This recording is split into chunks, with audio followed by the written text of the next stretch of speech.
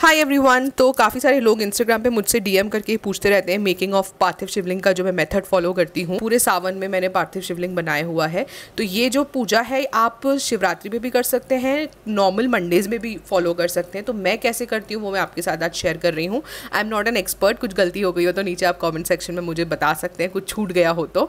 मुझे जैसा समझ में आता है, मैं वो करती हूँ। तो यहाँ पर मैंने पूजा सामग्री लिख दी है कि क्या क्या चीज़ें मैं यूज़ करती हूँ और क्या क्या आपको कभी भी शिवलिंग को ऑफ़र नहीं करना चाहिए। चाहिए अकॉर्डिंग टू हिंदू कैलेंडर हर मंथ एक शिवरात्रि आती है तो आप चाहें तो मंथली बेसिस पे भी ये कर सकते हैं। तो यहाँ पर मैंने जो मिट्टी यूज़ करी है, ये मुल्तानी मिट्टी है, मैं काली मिट्टी भी यूज़ करती हूँ, जो आपको ईजिली अवेलेबल हो ना, आप वो मिट्टी यूज़ कर सकते हैं। आप चाहें तो अपने गमले की जो मिट्टी होती है, वो भी यूज़ कर सकते हैं। लाल मिट्टी, सफ़ेद मिट्टी, जो आपको मिल जाए। और चाहे तो आप ऑनलाइन बहुत सारी मिट्टी मंगवा के रख लीजिए। तो इसको हम जो मुल्तानी मिट्टी है, इसको हम तीन से चार दिन गला के रखते हैं। थोड़ी सी डिफ़िकल्ट होता है इससे बनाना बट इसकी फिनिश बहुत प्यारी आती है। इसलिए मुझे पसंद है इनसे बनाना और this method is like a therapeutic and meditation for me तो इसमें डेफिनेटली टाइम लगता है तो ये एक टाइम टेकिंग प्रोसेस है। तो मैं यहाँ पर कैसे शिवलिंग बना रही हूँ, वो मैं अभी आप लोगों के साथ में शेयर कर रही हूँ। शिवलिंग जहाँ पर भी आप रखते हैं ना, उसके नीचे बेलपत्र जो होती है, वो ज़रूर रख दीजिए, उसके ऊपर आपको शिवलिंग रखना है। तो अब हम स्टार्ट करते हैं शिवलिंग बनाने का प्रोसेस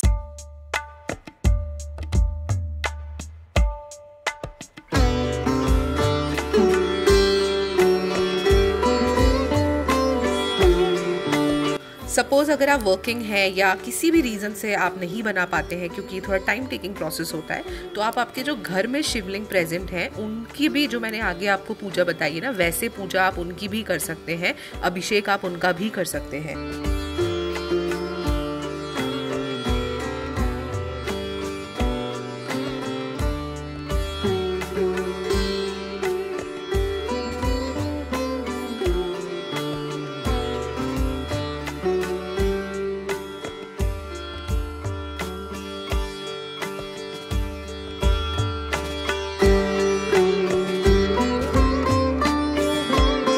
जब ये बन जाएँगे, तब मैं इनको पानी की हेल्प से थोड़ा सा रब करना स्टार्ट कर रही हूँ, ताकि इनके अंदर स्मूथनेस आ जाए। तो जो रफनेस है, वो पूरी तरह से चली जाएगी ऐसे।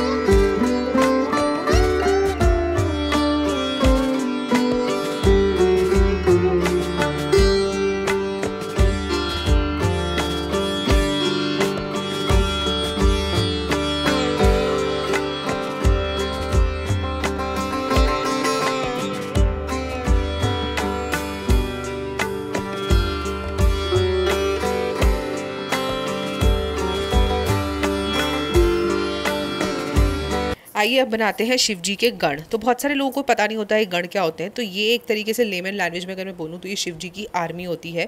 इनका नाम है भैरव, जय विजय, शैल, पिशाच, भूत, दैत्य, नाग, नागिन, Nandi different kind of animals बोल सकते हैं। बहुत सारे होते हैं। तो एज़ पर शिव पुराण ऐसा बोला जाता है कि जो गण होते हैं ना, ये घूमते रहते हैं दुनिया में अर्थ में और यूनिवर्स में।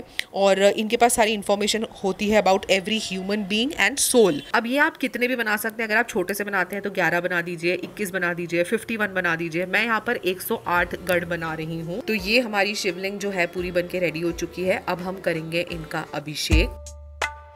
सबसे पहले हम नॉर्मल वाटर डालेंगे। इसमें मैंने गंगा जल मिला के रखा हुआ है।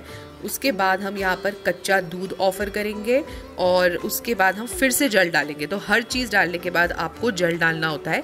जैसे हम स्नान करते हैं और हमारे ऊपर साबुन या उपटन लगा रह जाए तो हमको अच्छा नहीं लगता है। तो इसलिए इस तरीके से हर चीज़ डालने के बाद आपको पानी से उनको स्नान कराना है ताकि जो चीज़ें आपने लगाई हैं, वो अच्छी तरीके से साफ़ हो जाए। तो कच्चा दूध डालने के बाद मैंने पंचामृत डाला है और पंचामृत डालने के बाद मैं फिर से जल अच्छे से पूरा उनको क्लीन कर रही हूँ, क्योंकि पंजामृत थोड़ा थिक होता है तो वो अटक जाता है इधर उधर और हाथ से भी आप क्लीन कर सकते हैं। उसके बाद मैंने यहाँ पर घी लगाया है। घी लगाने के बाद फिर से मैं जल ऑफ़र करूँगी। और लास्ट में मैं यहाँ पर शहद लगाऊँगी और उसके बाद फिर से मैं जल चढ़ाऊँगी और यहाँ पर हमारा जो अभिषेक है, वो कंप्लीट होता है। अब बारी आती है श्रृंगार की। तो सबसे पहले मैंने सफ़ेद चंदन जो होता है, वो लिया है और मैं सारा पूरा जितने भी गण हैं, उन पे एक एक करके लगा रही हूँ और साथ ही साथ मैं शिव जी पर भी लगाऊँगी।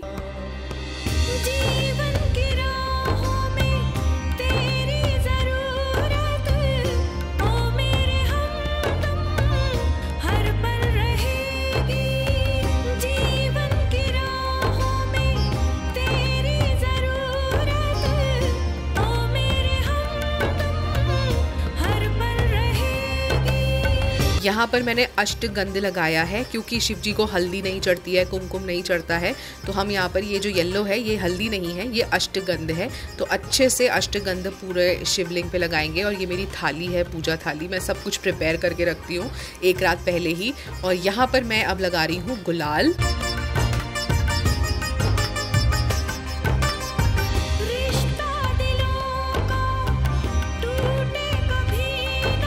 यहाँ पर अभी मैं एक एक गण के ऊपर चावल के दाने लगा रही हूँ। ये प्रोसेस आप कम्प्लीटली स्किप कर सकते हैं क्योंकि मैंने गण बहुत सारे बनाए हैं, इसलिए ये थोड़ा टाइम टेकिंग ज़्यादा हो गया था। अब हम शिवलिंग पर एक एक करके सब चीज़ें चढ़ाएँगे। तो यहाँ पर सबसे पहले अष्टगंध ड्राई वाला डाला है रेड चंदन डाला है, काली तिल्ली डाली है, ये मैं भाँग डाल रही हूँ।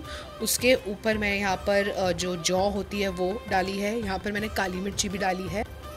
थोड़े से गेहूँ उसके बाद ये भस्म है जो मेरी मम्मी ने घर पे ही बनाई थी। उसके बाद मैंने ये चावल डाले हैं। ये मैं डाल रही हूँ अबीर। इनका कोई फिक्स्ड ऑर्डर नहीं है। आप कब कोई भी चीज़ कभी भी डाल सकते हैं। इनफैक्ट आप चाहें तो सबको मिक्स करके भी एक कटोरी में रख लीजिए और जब भी आप ऐसा बनाए तो आप अगर आपके पास टाइम का इशू है तो आप वो कर सकते हैं। यहाँ पर मैंने बेल पत्र, कमल गट्टा और जो भी मैंने आपको सामग्री में बताई है, वो सब चीज़ें मैं ऑफ़र कर रही हूँ। फ्लावर से अब मैं डेकोरेट करना स्टार्ट कर रही हूँ। जनेऊ वैसे शुरू में चढ़ाया जाता है बट मेरे दिमाग से बिल्कुल निकल गया था। तो जब मैं पूजा कंप्लीट करती हूँ तो मैं भगवान को बोल देती हूँ, भूल चूक हो तो माफ़ कर दीजिएगा बिकॉज़ एट दी एंड श्रद्धा मन आपका कैसा है, किस भाव से आप कर कर रहे हैं, वो ज़्यादा मैटर करता है। तो यहाँ पर मैंने डेकोरेट कर दिया है। लास्ट में हम दीपक से आरती करेंगे और साथ ही साथ धूप वगैरह जला देंगे और बस हमारी जो पूजा है वो फिनिश हो गई है। विसर्जन के लिए मैं शाम से पहले ही इनका विसर्जन कर देती हूँ शिवलिंग का। घर में ही किसी भी आप बर्तन में उनको विसर्जित कर सकते हैं और जो उसका पानी है वो अपने घर के प्लांट्स या ट्रीज़ में डाल दीजिएगा और ये हमारी पूजा जो है वो कंप्लीट हो गई है। आई होप ये पूजा आप लोगों के लिए हेल्पफुल रही हो और अगर मैंने कुछ चीज़ स्किप करी है तो आप वो नीचे कमेंट में मुझे बता सकते हैं और मैं आपको मिलती हूँ अपने नेक्स्ट वीडियो में। Till then bye